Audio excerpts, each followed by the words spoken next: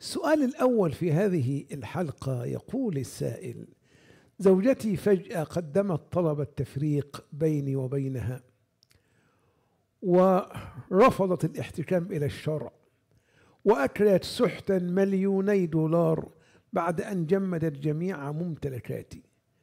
لا ريب أن ما فعلته جرم وسحت أضف إلى هذا أكلها للربا أكلها للربا والرشوة إلى آخر ما قال. طب أين السؤال يا حبيب؟ يقول أنا لم أدفع زكاة المال المنهوب والذي هو مغتصب من طرفها بدون حكم الله عز وجل. أخبرتها أن المال عليه زكاة للسنوات الماضية فهل يلزمني إثم أو يجب علي أن أفعل شيئا؟ أقول له يا رعاك الله من شروط وجوب الزكاة تمام الملك. ومعنى تمام الملك القدرة على حيازة المال والانتفاع به والتصرف فيه.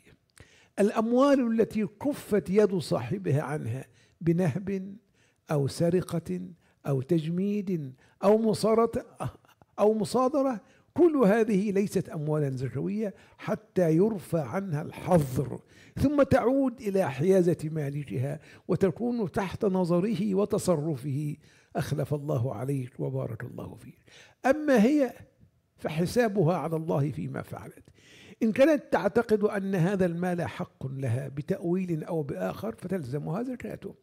وإن كانت تعتقد أنه مال مغصوب أو منهوب فماذا نقول؟ لا يتوقع منها في هذه الحالة أن تفكر في الزكاة. وقد أخذت أصل المال غصبا ونهبا إن كان الأمر كما تقول. والمسؤولية عن دقة الوقائع والمعلومات إنما تناط بالمستفتي ولا يلزم المفتي منها شيء لأنه لا سبيل له إلى التحقق من دقة وصدق هذه المعلومات. على كل حال تلك قضية لا تعنيك الآن. في الوقت الراهن كل نفس بما كسبت رهينة هي حسابها على الله إنك ميت وإنهم ميتون. ثم إنكم يوم القيامة عند ربكم تختصمون. تلك أمة قد خلت لها ما كسبت ولكم ما كسبتم ولا تسألون عما كانوا يعملون. ثم أقول لك يا رعاك الله وكل كسر فإن الله يجبره. وما لكسر قناة الدين جبران. ولهذا جاء في الحديث اللهم لا تجعل مصيبتنا في ديننا. لكل شيء إذا فارقته عوض وليس لله إن فارقت من عوض. اللهم اهدنا فيمن هديت وعافنا فيمن عافيت.